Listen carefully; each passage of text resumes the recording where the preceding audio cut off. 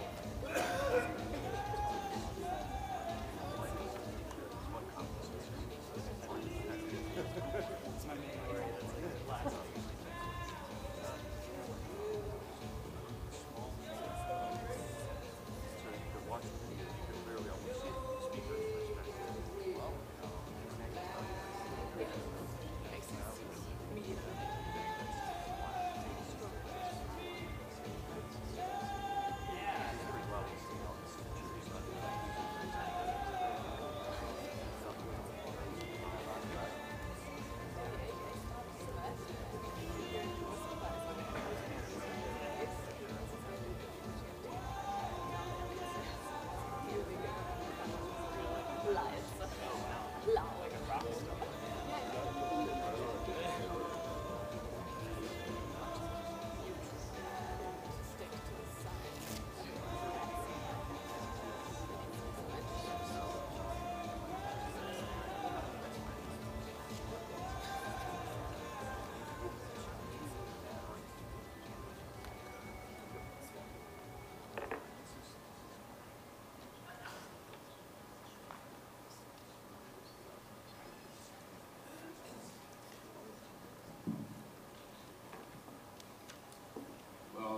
morning.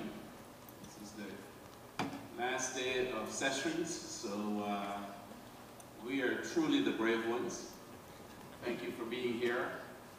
My name is Ivor Benjamin. I'm a professor of medicine and director of the Cardiovascular Center at the Medical College of Wisconsin and president-elect of the American Heart Association. I'm here to co-moderate this session with Dr. Robert Califf, of uh, Duke University Health.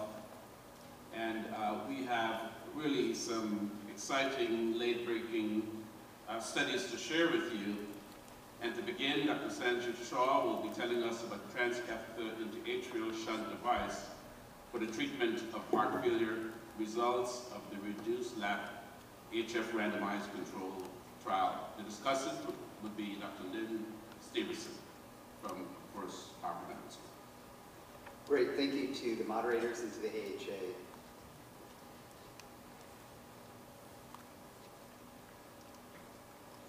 Heart failure with preserved EF and heart failure with mid-range EF are both increasing in prevalence and have a high morbidity and mortality, and there are no proven therapies for either.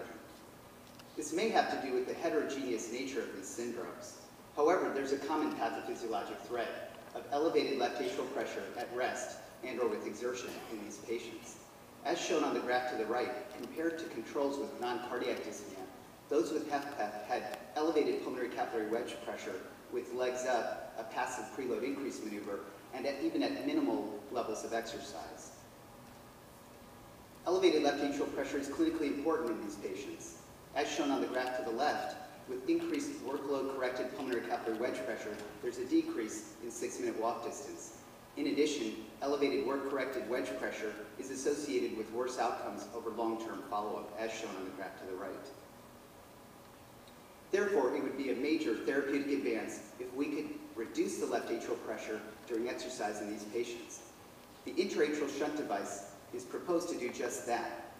The proposed mechanism, mechanism of action is dynamic decompression over the